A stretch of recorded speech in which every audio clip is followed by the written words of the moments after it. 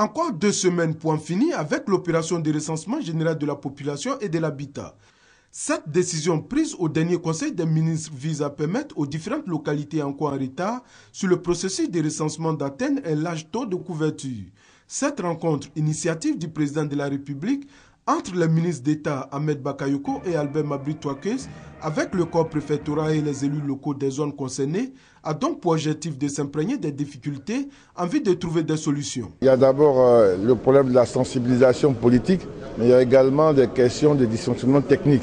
Donc nous avons souhaité traiter ces questions-là pour faire avancer le processus et nous avons lancé un appel à tout le monde afin qu'il y ait une implication de, tout le monde pour que ces deux dernières semaines, euh, qui sont un délai euh, que le gouvernement accorde, pour pouvoir boucler l'opération.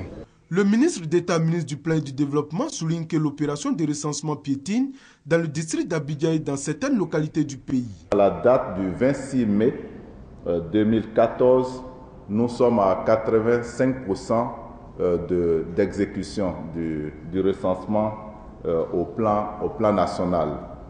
De ce chiffre, nous pouvons retenir que Abidjan se situe à environ 66-67%. En plus d'Abidjan, où le taux reste encore faible, nous avons quelques régions qui sont concernées. C'est le cas donc euh, du, Sud Komwe, euh, de la Mé, de, de euh, de la Nawa, qui sont encore des zones Moronou.